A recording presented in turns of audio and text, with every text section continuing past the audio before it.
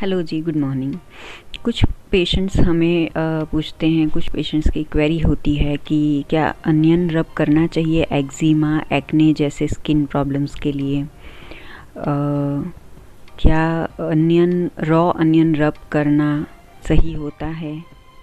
तो उसका जवाब ये है कि अनियन रब करने से कुछ लोगों को सही इफ़ेक्ट क्यों मिलती है? कुछ लोगों का एक्जिमा ठीक हो जाता है, कुछ लोगों के स्काल्प के प्रॉब्लम्स ठीक हो जाते हैं, ऐसा क्यों होता है? देखिए, अनियन में सल्फ़र के गुण होते हैं। सल्फ़र कुछ फॉर्म में अनियन में प्रेजेंट होता है, जो स्किन की प्रॉब्लम के लिए बहुत अच्छा होता है।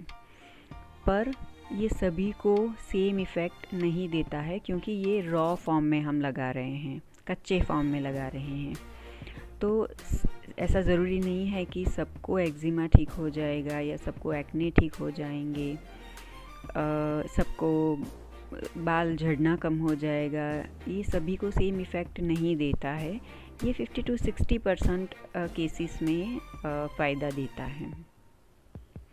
पर रॉ की जगह अगर हम पोटेंटाइज्ड फॉर्म में होम्योपैथिक मेडिसिन के रूप में अगर सल्फ़र लेते हैं 30 या 200 पोटेंसी में या लगाते हैं एक्सटर्नल एप्लीकेशन करते हैं तो बहुत चांसेस है कि वो अगर इन्फेक्शन है इन्फ्लेमेशन है एक्ने है एक्जिमा है तो वो चांसेस है कि वो उसको क्लियर कर दें।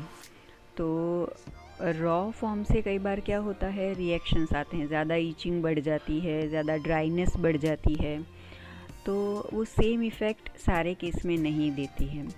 अगर बहुत ज़्यादा ड्राई स्किन है वेट एक्जिमा नहीं है तो उसका उपयोग मत करिए, क्योंकि वो आपको बहुत बर्निंग ईचिंग वगैरह स्टार्ट करवा सकता है।